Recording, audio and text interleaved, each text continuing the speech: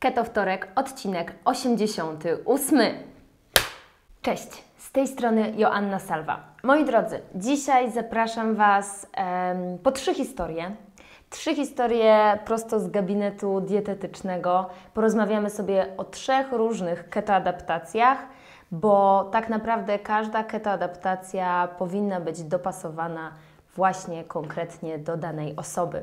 Także zapraszam.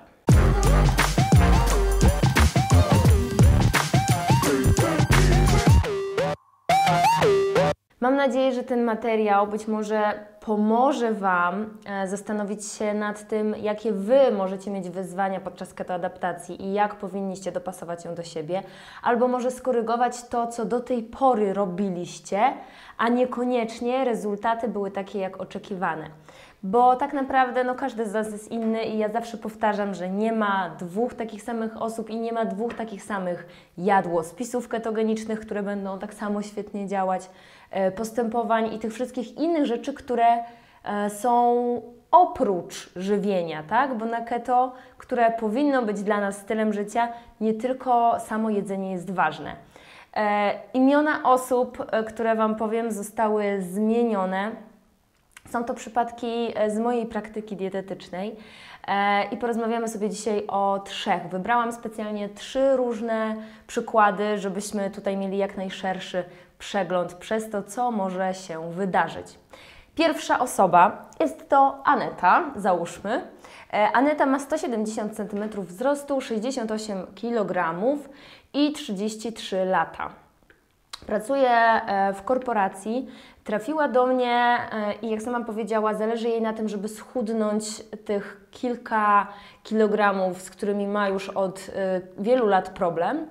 Ale jest to również kwestia wyglądu, ponieważ miała problemy ze skórą, z cerą już przez jakiś czas i ciężko jej było to rozeznać. No i też kwestia energii, której po prostu chciałaby mieć więcej, a dowiedziała się, że na keto tym takim brain fogiem, z tą mgłą umysłową możemy powalczyć i wręcz możemy się jej pozbyć. E, Aneta, jeżeli chodzi o jej wyniki badań, bo zawsze przed e, rozpoczęciem ketoadaptacji ja zalecam zrobienie badań, to wyniki były całkiem dobre, natomiast Aneta rzeczywiście miała TSH, czyli ten hormon przysadki mózgowej, miała w normie, Natomiast e, hormony tarczycy FT3, FT4 były dość nisko i tutaj e, no, podejrzewałyśmy niedoczynność, tym bardziej, że kiedyś już była u jakiegoś naturopaty, który właśnie stwierdził, że ta niedoczynność prawdopodobnie jest. Miała też um, z racji stresującej pracy czasami problemy ze snem, i gdzieś tam z zapanowaniem nad emocjami, więc e, to też jest ważny, ważna informacja. I jeżeli chodzi o samą dietę, to na początek nie szalałyśmy jakoś bardzo z ograniczeniem kalorii, tylko tak standardowo um, obliczyłam jej 1800 e, kilokalorii na dobę i standardowe makro adaptacyjne, czyli 15% białka, 5% węglowodanów i 80% tłuszczów. Tutaj nie było e, na początek potrzeby żadnych większych modyfikacji, nie było większych problemów z gospodarką cukrową, także to było takie makro, które, które było w porządku. E, Aneta miała problem ze śniadaniami, ponieważ po prostu nie jadała śniadań i ich nie lubiła. Natomiast ze względu właśnie na te lekkie zaburzenia hormonalne, Według mnie te śniadania były dość istotne i jedzenie posiłku w takim przypadku dopiero około godziny 12, no właśnie może sprawdzić, że, sprawić, że ta nierównowaga postępuje albo jest jakiś właśnie do, do, to dodatkowy stresor dla organizmu, te hormony nie zachowują się tak jak powinny, no i na przykład sam ten brak utraty wagi, e, przy różnych staraniach, które były wcześniej, bo Aneta też e, była osobą aktywną fizycznie, trenowała, więc tutaj y, mogło po prostu y, również to być jedną z przyczyn. Dlatego zaproponowałam Anecie takie powolne, powolny powrót do śniadań, e, czyli kawę kuloodporną śniadaniową, która po prostu polega na tym, żeby dodać do niej coś, co zawiera właśnie te aminokwasy niezbędne, które są potrzebne do odpalenia hormonów, czyli właśnie czy to cholina, czy tyrozyna, a na przykład cholina jest w żółtku jaja, więc jeżeli do kawy kuloodpornej dodamy sobie takie żółtko, jeżeli oczywiście nie mamy problemów e, tutaj z jajkami, to już będzie to lepsza opcja niż nie jest zjedzenie niczego. E, natomiast ustaliłyśmy, że w weekendy po prostu te śniadania będą troszkę później, bo Aneta też później wsta wstaje, ale że postara się po prostu do tych śniadań wrócić. Aneta weszła w e, ketoadaptację postem. Tego co pamiętam, to te 72 godziny, które zało założyłyśmy, czyli 3 dni, udało je się przeprowadzić, z, oczywiście z dodatkiem elektrolitów, oleju MCT. Także od razu była we fajnym stanie ketozy, który potem po prostu, oczywiście te ciała ketonowe idą, e, idą nam w dół, jak zaczynamy jeść, no ale to troszkę przyspiesza tą ketoadaptację, tutaj nie było żadnych przeciwwskazań. E, poza tym zastosowałyśmy też właśnie suplementację pod kątem tarczycy, a tutaj akurat tyrosetem e, i poleciłam też Anecie oczywiście elektrolity i ten standard, witaminę D3 i tak dalej. Poleciłam jej też pod kątem takiego uspokojenia układu nerwowego ashwagandę, no i właśnie niskie dawki, takie mikrodawki melatoniny, która sprawia, że nasz, nasze hormony i nasza własna endogenna produkcja melatoniny się podnosi i tym samym ten sen zaczyna się regulować. Efekty były, bo Aneta po chyba trzech tygodniach y, zakupiła sobie y, glukometr i rzeczywiście E, była już wtedy w stanie e, ketozy. E, waga na początku zleciała do minus 3, no mniej więcej minus 3 kg, wiadomo to w dużej mierze też jest woda. Natomiast później dopiero, bo pamiętajmy, że to nie ketoadaptacja jest jakby czasem, kiedy przede wszystkim mamy schudnąć, a później to optymalizujemy, więc my to, tym, że to tych kilogramów nie poleciało tak dużo, jakby się nie martwiłyśmy, bo Aneta też wiedziała, że przy problemach hormonalnych może to iść wolniej, natomiast potem zmieniałyśmy już makro po adaptacji yy, i ta waga rzeczywiście szła dalej w dół, no ale to już nie jest temat na dzisiejszy odcinek, ale jak widzicie tutaj takie standardowe w miarę podejście z takimi różnymi dopasowaniami, a jeszcze jedno, yy, Aneta miała problem yy, właśnie ze skórą i tutaj do, wyedukowałyśmy, że ten nabiał niekoniecznie w jej przypadku jest dobry, więc po prostu e, w diecie zostawiłam jej tylko nabiał kozi i owczy, mm, a cały nabiał krowi na pierwszy miesiąc e, jakby odrzuciłyśmy, ale Aneta tak dobrze się na tym czuła, że, że później jeszcze kontynuowałyśmy to przez jakiś czas. Drugi przypadek to jest pani Zofia. Pani Zofia trafiła do mnie e, z wagą 98 kg, miała 165 cm wzrostu, 55 lat, była nauczycielką i nie ruszała się zbytnio, natomiast przez lata walczyła z wagą, walczyła. No i miała też problemy zdrowotne. Hashimoto, e, insulinooporność. Na insulinooporność brała metforminę, ale bez większych e, tutaj fantastycznych rezultatów. Miała też problemy z trawieniem. No, w badaniach rzeczywiście te rzeczy wyszły i dodatkowo e, te parametry wątroby były lekko zaburzone, bo ALT było powyżej normy, natomiast AST było ok. I to zazwyczaj jakby ALT wyższe od AST jest wtedy, kiedy po prostu mamy do czynienia z nadwagą czy otyłością. Także tutaj nie martwiłyśmy się jakoś bardzo y, tym złym stanem wątroby, chociaż oczywiście te suplementy pod kątem wsparcia trawienia i tutaj nawet żółć była zastosowane, żeby jakby wykluczyć jakieś y, problemy dodatkowe trawienne podczas ketoadaptacji. Pani Zofia nie dość, że się nie ruszała za dużo, to stosowała przez lata różne diety odchudzające i tutaj nie potępiamy jej, bo myślę, że prawie każdy popełniał te błędy, jeżeli próbował schudnąć, a miał z tym problem.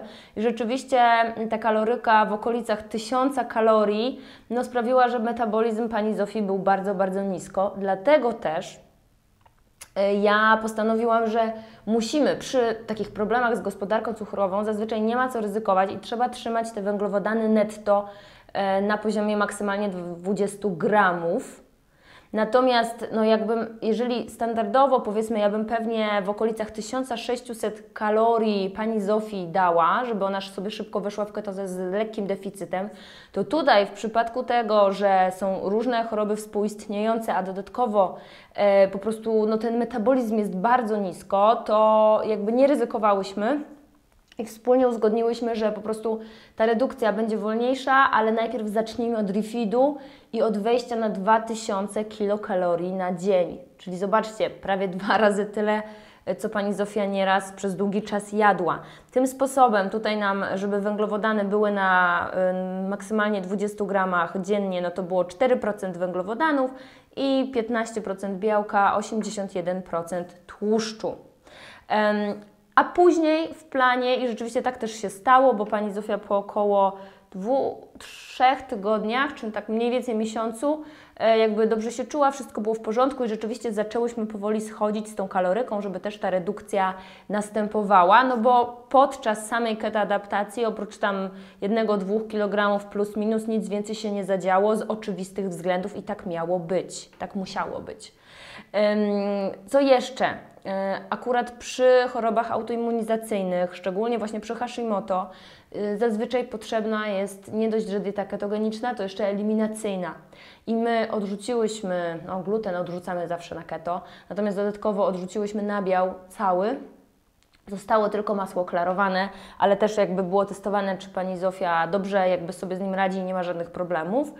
E, i odrzuciłyśmy jaja, chociaż jakby po prośbach pani Zofii, no bo wiadomo, że ten jadłospis wtedy nie jest aż tak bardzo urozmaicony. E, nie było co prawda badań, badań na alergie pokarmowe, te IgG zależne, czyli opóźnione. E, pani Zofia ich nie zrobiła, ale po prostu dorzuciłyśmy w rotacji, czyli raz na kilka dni żółtka jaj, które zazwyczaj są lepiej tolerowane niż białko. To zazwyczaj na białko mamy uczulenie a efekty były jakby takie satysfakcjonujące, więc tutaj y, nic więcej jakby nie usuwałyśmy z diety. No i rzeczywiście, e, a i jeszcze pani Zofia, jak już do mnie trafiła, to też już była przez jakiś czas na low carbie, więc myślę, że to też dało, było dużym plusem do tego, że rzeczywiście weszła w ten stan ketozy i e, po miesiącu naprawdę już mogłyśmy zacząć właśnie zmieniać delikatnie to makro e, i obniżać e, kalorykę, tak, żeby następowała również redukcja. Także tutaj też był sukces. No i przede wszystkim pani Zofia dużo lepiej się czuła, już praktycznie zaraz podostała więcej energii. Metforminę przez okres adaptacji zostawiłyśmy, a później właśnie po konsultacji lekarskiej ona już nie była potrzebna, tam czasami wchodził jakiś cynamon, też zaleciłam suplementację berberyną ewentualnie, natomiast e, pani Zofia mierzyła sobie te cukry i one powoli, ale rzeczywiście była ta tendencja spadkowa, także wszystko gdzieś tam już po miesiącu szło w dobrym kierunku. No i trzeci przypadek, żeby nie było, że same baby, e, to mamy Pawła. Paweł 180 cm wzrostu, 75 kg, 30 lat. Również pracował w korporacji, ale jego ogromną pasją był sport. I Paweł uprawiał triatlon, startował e, w triatlonach, natomiast my już rozmawialiśmy trochę wcześniej, ale ustaliliśmy, że po prostu e, zaczniemy mm, współpracę po e, startach, wtedy kiedy będzie miał taką najdłuższą przerwę na to, żeby po prostu tą ketoadaptację przeprowadzić, bo jak wiadomo, przy tego typu sporcie, no nasza wydajność może na początku ketoadaptacji, a raczej prawie zawsze będzie wręcz słabsza. Także, żeby tutaj nie w jego karierze, co prawda amatorskiej, ale, ale jednak, żeby tutaj za bardzo nie namieszać, no to właśnie w ten sposób się umówiliśmy. Dla niego ważne, bo też możecie zapytać, dlaczego triatlon i keto. No cóż, są zwolennicy teorii, że jednak yy, nawet tego typu sporty bardzo dobrze keto się na nich, przy nich sprawdza, bo po prostu mamy długofalowo jakby tłuszcz jest, e, energii może nam dać na dużo dłużej, dużo dłużej, no tak, niż węglowodany. E, natomiast dodatkowo e, Paweł po prostu chciał gdzieś tam poczuć te ketony w mózgu, jak ja to mówię, czyli pod kątem kognitywnym, pod kątem myślenia. Chciał spróbować jeszcze wyjść na wyższy poziom, bo tego mu brakowało. No i też w jego rodzinie były przypadki E, chorób nowotworowych, więc bardzo mądrze podszedł do tego, żeby po prostu zapobiegać e, ewentualnym problemom. I dodatkowo e, miał dość jedzenia ciągłego węgli i po prostu 5-6 posiłków dziennie to już po prostu go męczyło, dlatego szukał jakiejś alternatywy. Paweł wszedł na keto 24-godzinnym postem e, i wcześniej był na high carbie, więc jakby no dłużej nie, nie wytrzymał po prostu, ale e, dlatego też nie kombinowałam jakoś bardzo, mimo tego, że był sportowcem e, tutaj z makro. Ustaliliśmy, ustaliliśmy 2,5 tysiąca kalorii, bo też nie miał jakiegoś bardzo intensywnego wysiłku fizycznego w tym czasie.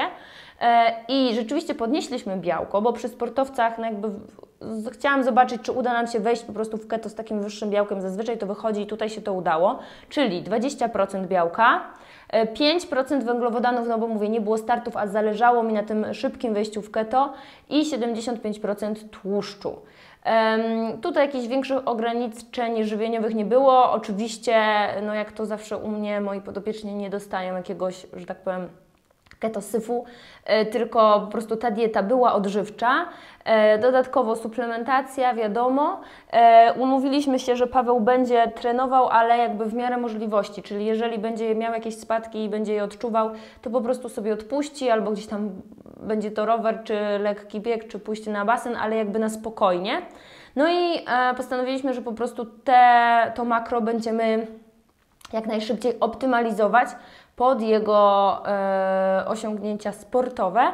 I rzeczywiście, mimo tego high carbu, ale no Paweł był młody, nie miał jakichś problemów ze zdrowiem ani z wagą, wejście w keto było. E, no już tak, no te 2-3 tygodnie już jakby było w porządku, jeszcze to przytrzymaliśmy do miesiąca i potem zaczęliśmy po prostu to makro optymalizować, zwiększając zarówno węglowodany, jak i białka delikatnie. Pamiętajcie, że te skoki nigdy nie mogą być, że od razu nagle jemy dużo, dużo więcej, tylko po prostu z tygodnia na tydzień, czy w przeciągu dwóch tygodni zmieniamy i sprawdzamy, co się dzieje i nie tylko pod kątem ciał ketonowych, ale również glukozy, tak żeby glukoza była na stabilnym poziomie, bo u Pawła na początku ta glukoza rzeczywiście, że okazało się, że jednak troszkę skakała, także to nam się też yy, unormowało. To są te trzy historie, moi drodzy, i jak widzicie, trzy różne historie. Wiadomo, że one są w skrócie yy, i każda z tych osób, i każda z osób, które przychodzi ketoadaptację, ma po prostu mega zazwyczaj ciekawą, interesującą i inną historię. Dlatego bardzo ważne jest to, żeby po prostu indywidualizować wszystko do siebie, sprawdzać, co nam dla nas jakby dobrze działa. Jeżeli coś nie działa, to po prostu poszukać tej przyczyny, bo na pewno można, tak? Tylko po prostu trzeba czasem poświęcić więcej czasu na to, żeby znaleźć to rozwiązanie. I ja zdecydowanie do tego Was zachęcam, bo warto powalczyć o swoje zdrowie, powalczyć o siebie, lepsze samopoczucie i efekty, które może dla każdego będą inne, natomiast e, mam nadzieję, że satysfakcjonujące. To wszystko w temacie e, różnych rodzajów e, i możliwości na keto adaptacji. Pozdrawiam Was ciepło i do zobaczenia w kolejnych odcinkach. Cześć!